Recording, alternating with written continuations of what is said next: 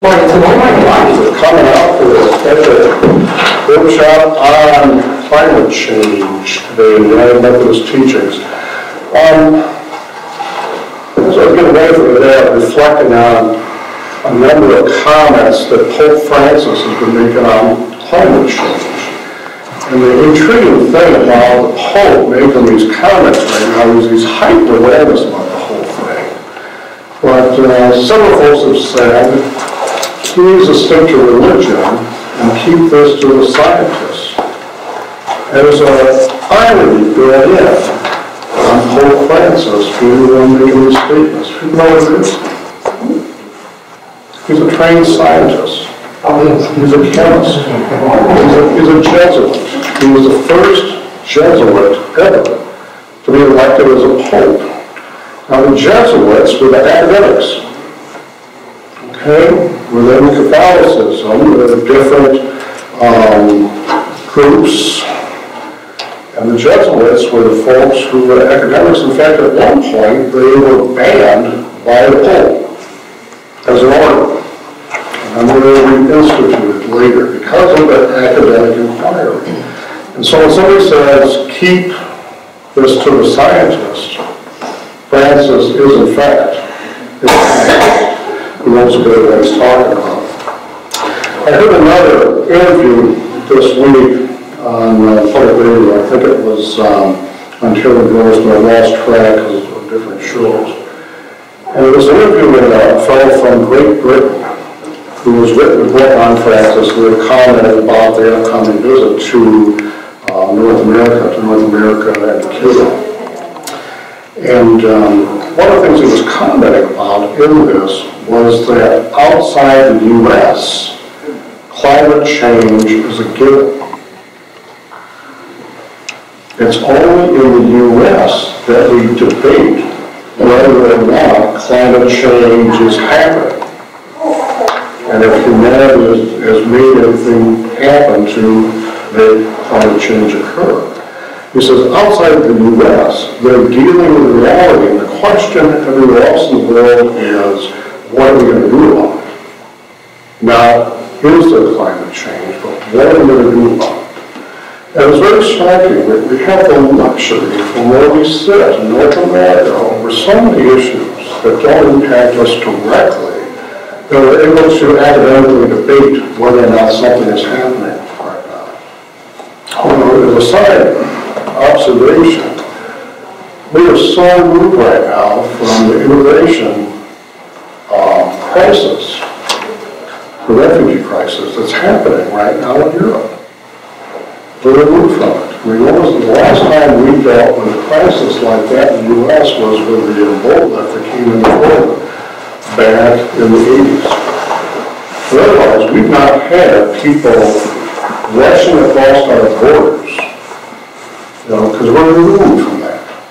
You know, we don't have regulations like that. And so when it comes to issues on a global scale, too often we get insulated here and say, well, that, we can talk about whether that's happening. It is happening. It has happened.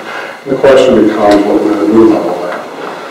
I want to set the context just slightly and introduce some United Methodism 101 as to where this material came from that we're going to look at this morning. In the Catholic Church, the Pope and officials that work with him at the Vatican make statements on behalf of the church. And we're used to this because the Catholic Church is so huge that the Pope makes a statement, it gets in the secular press worldwide. So they see it. We don't have, as United Methodist, a Pope. We know that. We barely know that we have bishops. Who speaks on behalf of the United Methodist Church is the General Conference. It is an elected body. It is the only group that can make official statements on behalf of the entire denomination. It is made up of representatives, delegates from every annual conference in the global church. The next general conference will have 860 voting delegates. 40 per, Forty-five percent of, forty-four percent, forty-four percent of those voting delegates are from outside the US. We are not US church, friends. We, the largest block of the delegations from outside the US will be from Africa. Over thirty percent of the voting delegates at the next conference in Portland, Oregon will be from Africa. The next biggest group from outside the US is from the Philippines, and the third is from Europe. And that's where we exist outside the United States. We do not have United Methodist churches in South America. One of the general conference gets together once every four years. They vote primarily on three things. One is a budget. We have to function as a church by having a budget and where the money comes from you go to churches like this, this is where shared giving goes, is what we're doing away from Lake Mills. The second two places that they vote on every time that we're there is the book of discipline and the book of resolutions. Put several, right? One's hardback, one's paperback. Here's the difference. The Book of Discipline is our book of church law. This is what tells us how we're going to be organizing as local United Methodist churches. This is, tells us how it is that pastors like Edwin and myself can get credentialed and be ministers in United Methodist Church. This is what tells us if somebody has some misconduct, what we do about that. This is what tells us how we're going to be organized for global ministry and all the other things that make us a United Methodist Church. The second thing that they pass is what's called the Book of Resolutions. This is our book of teaching. This is our official stances on various issues as United Methodist. The way this works, when a resolution is passed, it is in effect for two four-year cycles. So we'll pass some resolutions in 2016, those will go in effect as of January 1st of 2017. They'll go for one four-year cycle, then a second four-year cycle, then they go away unless somebody brings forth the same resolution again or a similar resolution to a general conference and says, we need to pass this one again for this, this, and this reason. Okay? So this is a teaching book. This is our equivalent of the Pope making a statement on climate change. We do it through our book of resolutions. So that's what we're going to looking at today are several of the resolutions that deal with climate change issues. And now, we do not have a resolution that neatly packages together one resolution that would work for a climate Sunday at a local church. The field is so good. There's so many different topics that we're talking about that relate to climate change and the impact we have on our environment. So I want to have you open up the handouts I gave you. I believe on inside the back page, we're going to slowly work through this. This is um, photocopies of all it is from the book of resolutions. And we can use it for teaching. Steve wants to publish a book, word it in there, then I gotta get permission. But for teaching purposes, all you folks that are teachers know that you can still take small excerpts and use it for teaching purposes. Um,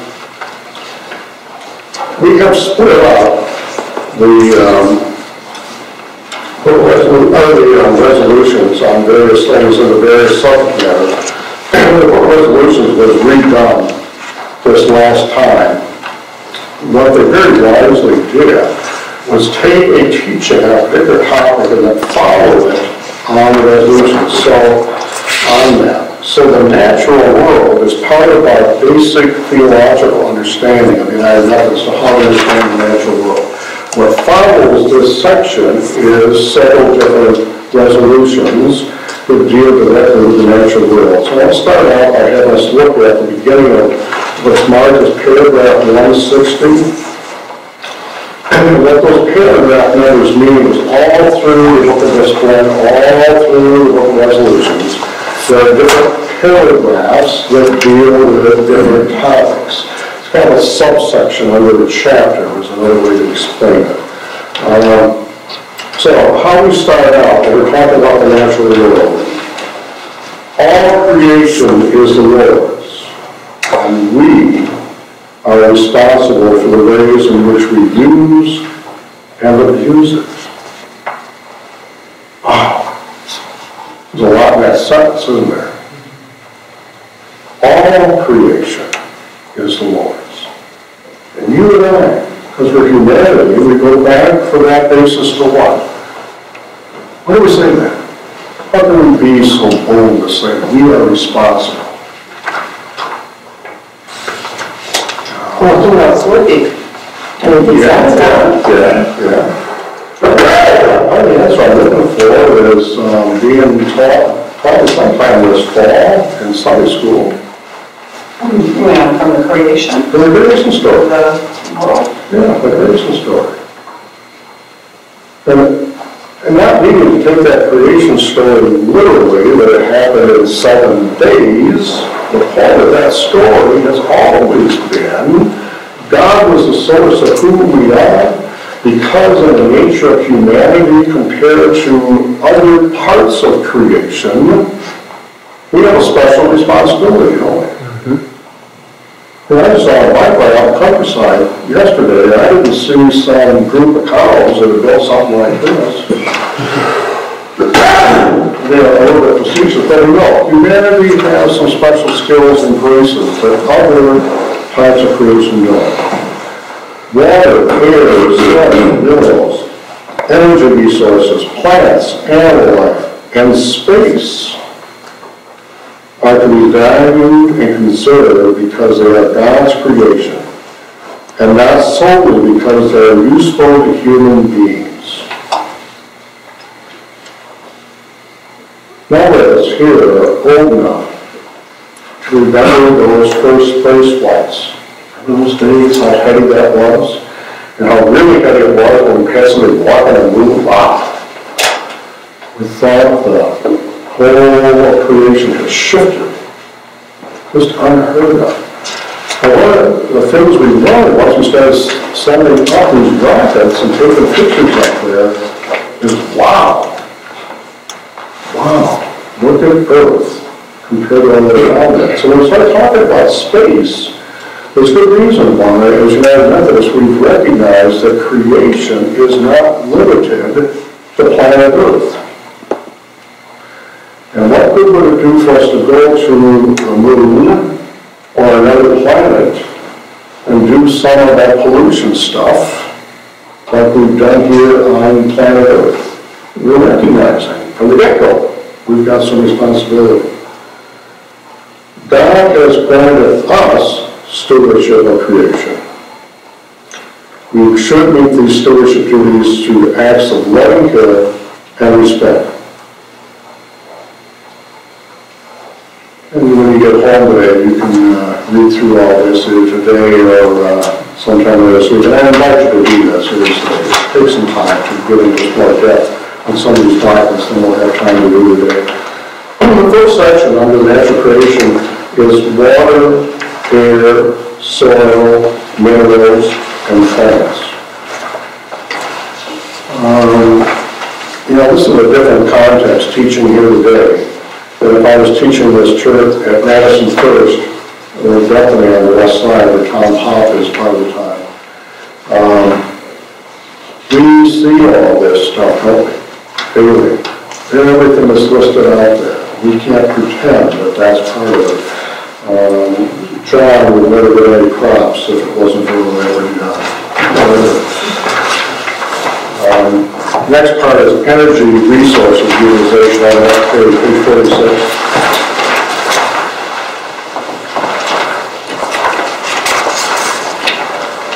Animal life, big section, we make statements on that. Then we jump to a thing on global climate stewardship, which is the most apropos for our topic for the morning. I invite you to read through section D on page 47 with me. We acknowledge, in general, out loud, we acknowledge the low impact that humanity has provided for God's creation, rampant industrialization, and the corresponding increase in the use of fossil fuels has led to a buildup of pollutants in the Earth's atmosphere.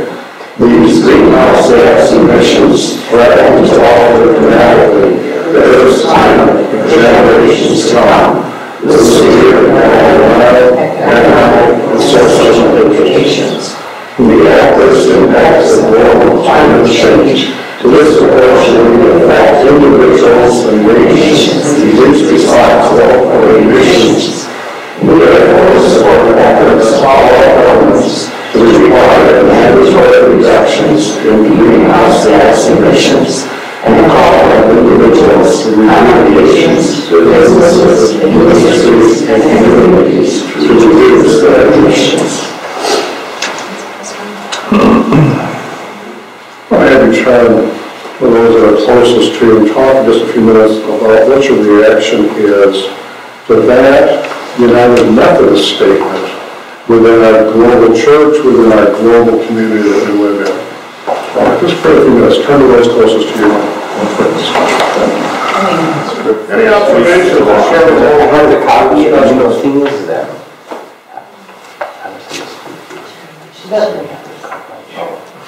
Well, what I just was saying that in, on page 47, the, the, the sentence that jumped out at me was the one that said the adverse impacts of global climate change disproportionately affect individuals and nations least responsible for the emissions. I said, you know, I feel good about that, that's kind of sad. Yeah. You know what I mean? Yeah, that, that just jumped, you know, and John, you said too, that a lot of us said, that's not a good sentence. And- Not, not good because of its truth or because it just. Because it's us. Yeah. We're Yeah. yeah, we're affecting it, and we're impacting the people who are least responsible for it. And, and I, along that line, I'm, I'm thinking about some um, arguments in, from African countries in particular that say um, they shouldn't have to, they're just getting industrialized, and therefore they shouldn't have to meet the lower standards right now because the United States and other um, uh, Western culture countries in particular have had all these years um, to just pollute, pollute, pollute, pollute. And now our industrialization is, and our manufacturing is where we want it to be, and it's high, and they're just getting started, so you're telling us we can't pollute? Well, eh, but, but still, the people in their countries will suffer. That's one of the moral dilemmas that we deal with. I mean, one of the big picture macroeconomic questions that is difficult to wrestle with. You know, standard of living is up here as Americans, and so many folks are down here that want up, we've always assumed that they'll come up to our level. Maybe the issue is gonna be them coming up and us going down. And that's, that's a tough pill to swallow. Tough pill to swallow. Uh, And I'm not advocating that as uh, some kind of trickle-down economics or some strange thing like that, but uh, it's a moral reality. And and we also are are experiencing right now in terms of global climate issues, mm-hmm. what happened with the huge spike in manufacturing in China, which we personally have felt the impact of in this community as jobs left, went overseas, and all the pollution that came along with that. And now at the top of the spike, things are falling off, which has another ripple effect. I mean, all this stuff is interrelated in ways that just scare the bejesus out of you if you stop and think about it for five seconds. Um, other comments from the discussion we just had? We, I think our group generally agree that greed plays a part in this. And my frustration is hearing people say, we can't afford to address this because we can't raise our energy prices, we can't do this and we can't do that. And my thought is, we can't afford not to. What are we leaving for future generations, for our children and grandchildren, if we don't begin to um, accept some of that and live with the reality of that? Sure. As long as I can remember, gasoline prices have been higher in California than anywhere else in the nation. There's different emission standards on gasoline that's manufactured for sale in California, that's why. They, they made a, a state decision decades ago that that was something to do, and they with the reality out there of what those mountains do to everything west of the mountains. And if you're gonna generate a whole bunch of pollutions, it's gonna get held between the mountains and the ocean. And it's a difficult situation. They still deal with some terrible smogging issues in Los Angeles. And uh, I remember as a youth growing up and reading old Sherlock Holmes stories talking about the smog in London. Remember reading that, those comments and through the smog, I think that was really cool. What was the smog? Coal, coal smoke. Coal smoke, yeah. You know, I just thought it was some strange variation on the word fog, which it is because it's caused by coal smoke. And when the people in London started catching on to basically they were killing themselves with this stuff, they did something about the smoke. Um, Hey, put stuff out that's gonna come back. Other, other comments? Yeah, John? Nothing's gonna change in this country because of what you said before, with the up there. The lower level people that are going up there, and we're up there, we gotta go down and meet them. That's never gonna happen, not in the United States, because it's, up here is profit, down here isn't. If there isn't any profit, it's not gonna happen, it's just, Yeah, the way it is. Well, how, how it's happening, John, on some individual levels, and we've seen the reality of this, is good paying jobs in the US have been going down, and lower paying jobs have been taken over for that. Uh, Mainly, you don't replace an industrial manufacturing union job with working at Starbucks. They don't inflate in terms of standard of living. Um, And that's what's bringing down our standard. And the the ripple effect on still not totally played out. Not played out. Um, So, but yeah, to intentionally make that decision, you're absolutely right. To intentionally make that decision. Other comments on this section? I'm going to jump ahead to page 40, or 54. Resolution on U.S. energy policy. And I have this responsibility. Um, Paul had a few words to say that were relevant. Um, They shared with the people in the church in Colossians, uh, the end of the first paragraph there. We are invited to participate in the preservation and renewal of God's good creation. Preservation and renewal of God's good creation. And that's an underlying theme through all the Bible. God's creation is good. Can you imagine being part of a faith that didn't think that God's creation was good? Oh my Is gosh. there one? What? Is there a faith that believes that? I don't Not that I'm aware of, Susan. I'm just saying hypothetically, and it's gonna matter having that kind of perspective to approach the world of faith, that creation wasn't good. I guess if you were part of a religion who was based on trying to figure out every you could to get off of this planet, but guess what? In our theological understanding, you leave this planet, you just go into another part of God's creation. You're still in God's creation. Yeah, you know, um, what, the, the Gnostics, they held that creation was an accident, um, and, and that it was evil. And we see that reflected even, uh, in our lives today, even though that was an old ancient philosophy, in that where people would see all earthly things as evil you know, or, bad or not pleasing even to God, even from Christians themselves, where they, they condemn, you know, uh, having a little bit of fun or, or they condemn enjoying yourself out there in nature. I, you know, I remember as, a- as the New Age movement uh, uh, came up, all of a sudden, you know, crystals, minerals, they come out of the earth were evil. And it's like, that's part of God's creation, it's part of the beauty that God has given us uh, to, to enjoy and to, to, to, to, to, you know, to see the glory of God in creation. And yet, it was condemned. Uh, I, I- I remember that as a child, and, and, you know, sort of, those, those kind of things, you know, they, they don't outright say it's all bad, But they say enough of it is bad to not want to be here.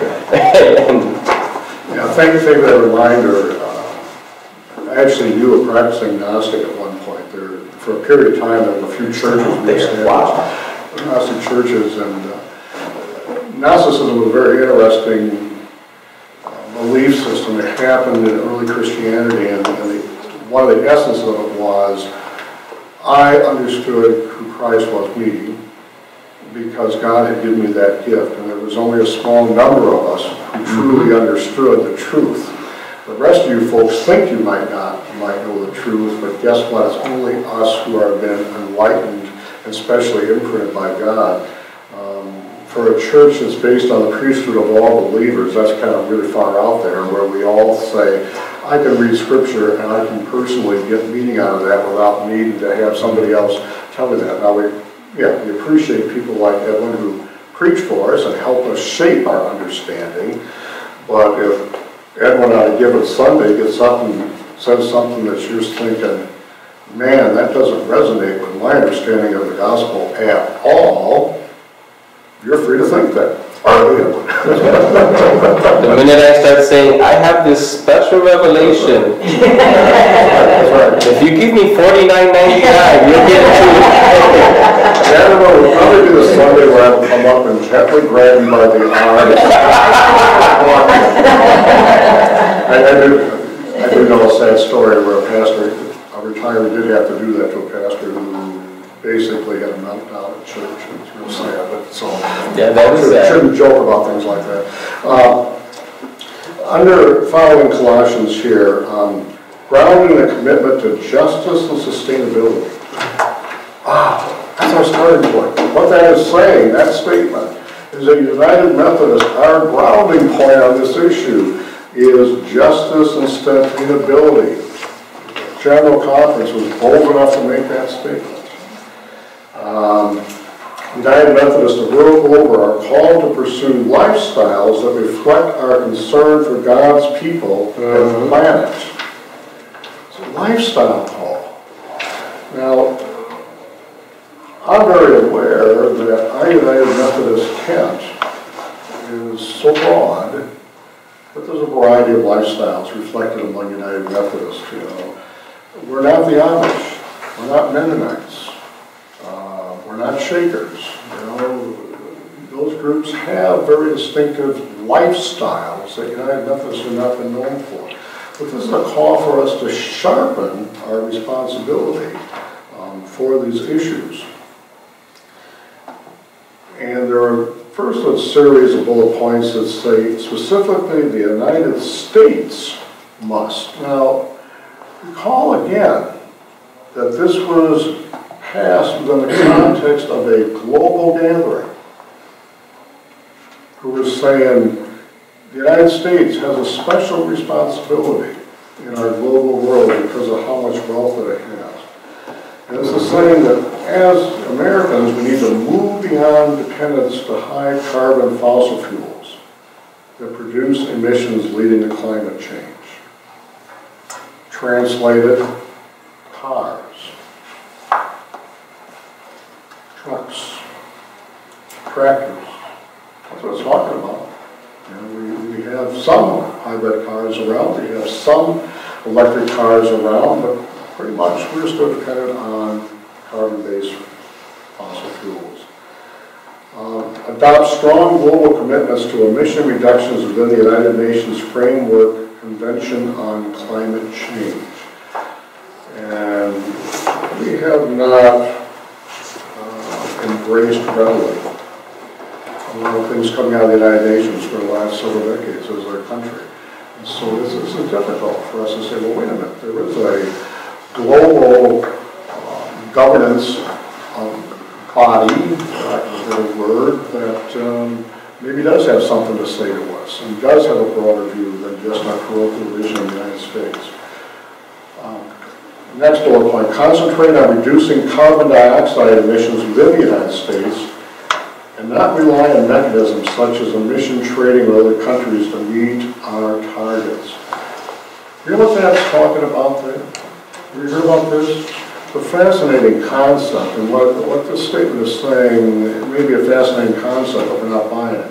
What it's saying is, we would get X number of emissions on a scale. I don't know what the exact scale is. And if we're going to overdo that through our industrializations, we've got to trade off something else with a country that doesn't have much industrialization, say Chile. Um, You know, some other country that we would trade these things off with, we're saying, no, that's not the way to approach it. If somebody's not emitting a lot of carbon, you know, that doesn't mean that somebody else should be emitting more. If we're going to talk about this whole globe, and the fact that our weather affects the whole globe, and what we do here doesn't pay attention to international boundaries, we need to be responsible within that area where we're at. Uh, Reduce our reliance on nuclear power, which is really fascinating, because for the longest time, that was seen as, you know, a good alternative. Uh, Some questions about that because of safety issues. And uh, I gotta tell you, it was really disconcerting when I lived for five years within the second tier evacuation zone for the Zion nuclear power plant when I was still open. Because we would get yearly in the mail our evacuation directions if there was to be a problem at the Zion nuclear plant. And when you're living a block from Lake Michigan, and you know you've got six miles of the city of Kenosha, you gotta get out of before you can even get to the interstate, and by then, what it's gonna be like, you're thinking, I'm dead meat. Yeah, it's gonna be just good luck, something like this happens. So it's, it's scary stuff. Uh, which is part of why the Zion nuclear plant was shut down. They finally realized that having that plant in northeast Illinois was maybe not the brightest idea in the world, terms of safety concerns. Um, Manage demand through a high priority on conservation and energy efficiency. Shift federal resources, both tax incentives and appropriated dollars away from fossil fuels and toward renewable energy sources such as solar, wind, and biomass. Oh my gosh, I drive out to um, southwest Wisconsin, over in eastern Wisconsin, sections of northern Illinois, these wind farms now, Oh my gosh, what a change. Now, there's some problems with those too. Those create some sound issues that people living near them get upset about, and it's kind of tough on migrating birds. It uh, kill a lot of them, but there's an alternative energy source. It's, you know, maybe this is a good alternative. Um, Support develop, uh, support development and utilization of appropriate technologies for small-scale decentralized energy systems. You know, I've never done it, but my tax advisor was trying to talk me into it at one point. You know, putting on these solar panels on my uh, house roof, just converting my whole house into an energy converter. And uh, some folks have gotten so efficient about that, they're actually selling power from their homes back onto the grid. They're reversing the power flow. Uh, those things exist. And there's tax incentives right now, that's why she was trying to talk me to do with it. If you put one of those babies up on your roof, now you gotta have a roof that's faced the right way and all that sort of stuff. You gotta have sun. We don't have that in Wisconsin. Well, uh, my tax advisor's in Wisconsin, John, she's using it. So, let's see, support expansion of infrastructure needed for cleaner energy vehicles, public transportation, and ride sharing, and provide necessary support for individuals, families, and communities adversely affected by a transition away from fossil fuels. In other words, if we're gonna start disrupting folks, we need to figure out ways as a society to help folks through those transitions. Uh, We all get wed to our various jobs. And uh, you're part of an industry that's manufacturing internal combustion engines, and we say, oh, we're gonna cut down on the number of internal combustion engines, that's what that's talking about, is help people transition to it. Um, Some of the folks that really, well, never mind, won't go there. no.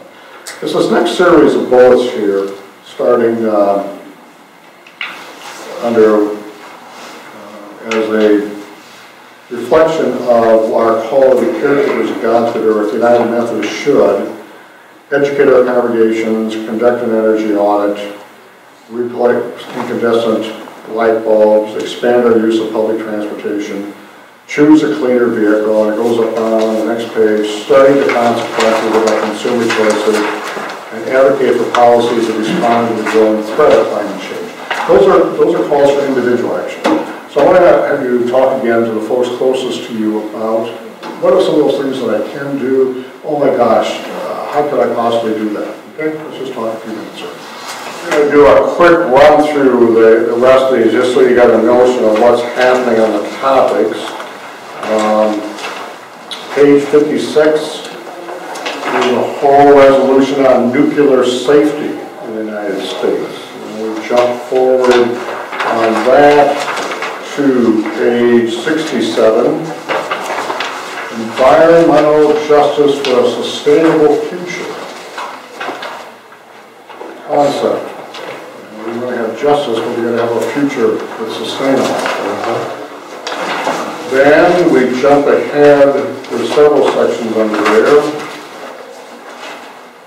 To, uh, that one is calling for several folks to do things, including on page 72, call specific for um, local congregations to develop programs, incorporate the concerns of ecological justice into our work of social concerns, mission activities, stewardship, trustees, and worship.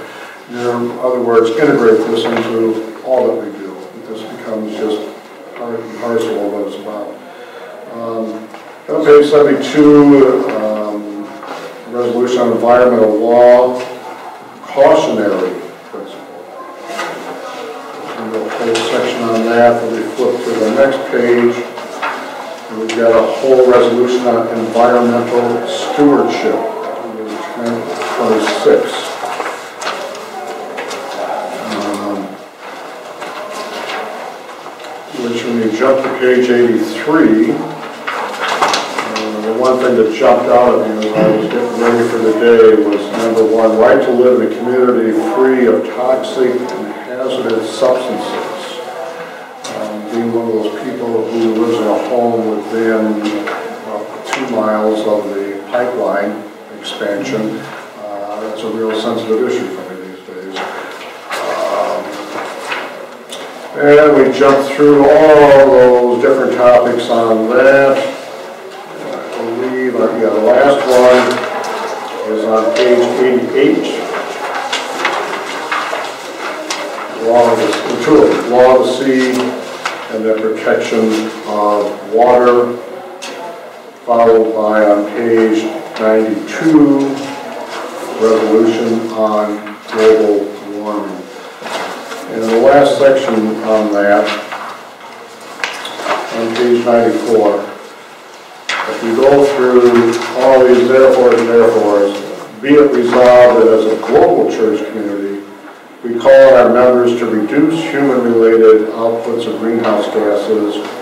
Be it further resolved that members should make an effort to learn about human production and release of greenhouse gases and evaluate their own lifestyles to identify areas where reductions in production and release of greenhouse gases can be made.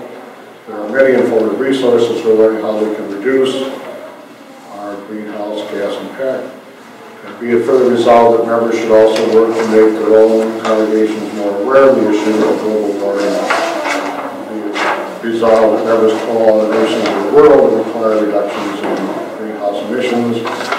And be it finally be it resolved that members should also attempt to educate others outside their church communities on the need to take action on this issue.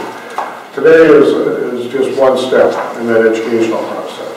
That's what today's about, people informed about it. Going to wrap up with, with two things here. I'm going to pass this around while we're finishing up. For those who are interested in really, really digging in on this issue, um, University of Wisconsin is offering one of its massive open online courses, better known as MOOCs, where you can do an online course on climate change policy and public health, which will be going on starting in November.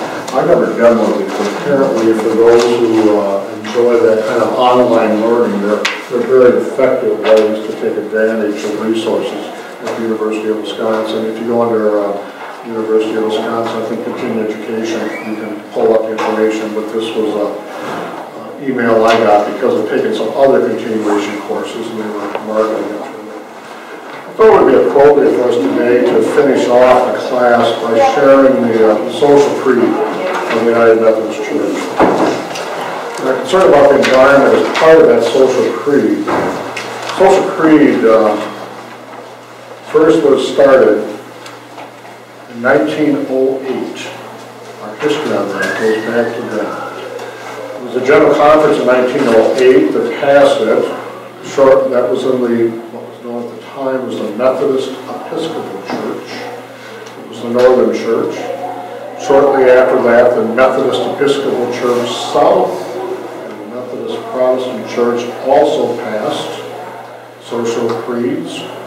Um, This was during the heyday of what was known as the social gospel movement. The most astounding piece of that history to me is after the general conference passed the social creed, the first one, he sent a a small delegation of bishops to the White House to meet with Teddy Roosevelt, who welcomed them with open arms to tell him about what the Methodists had just done. Could you imagine now, a group of Methodists trying to get that kind of audience with the president? Uh, They were glad to receive these Methodist bishops. Um, The social creed has been revised a number of times over the years. This is the most recent revision of it. And uh, share together the top section of the handout. Join in with me. We believe in God, creator of the world, and in Jesus Christ, the Redeemer of creation. We believe in the Holy Spirit, through whom we acknowledge God's gifts, and we repent of our sin in misusing these gifts to our idolatrous ends. We affirm the natural world as God's handiwork, and dedicate ourselves to its preservation, enhancement, and faithful use by humankind. We joyfully receive for ourselves and others the blessings of unity, sexuality, marriage, and family. We commit ourselves to the rights of men, women, children, youth, young adults, the aging, and people with disabilities, to improve the quality of life, and to the rights and dignity of all persons. We believe in the right and duty of persons to work for the glory of God and the good of themselves and of others, and the protection of their welfare, in so doing. The rights of property, as well as God, collective bargaining, and responsible consumption, and the elimination of economic and social distress. We dedicate ourselves to peace throughout the world, to the rule of justice and law